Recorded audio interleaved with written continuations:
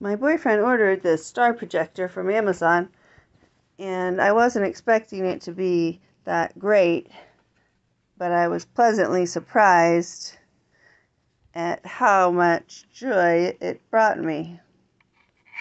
As you can see, it plugs in just like a cell phone to USB C. And it also works with Bluetooth.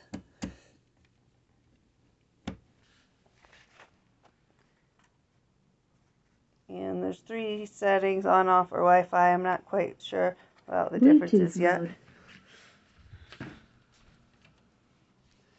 It's not that dark in here, but um, you can, as you can see, it looks way dope. And it's also a remote control with it, which I don't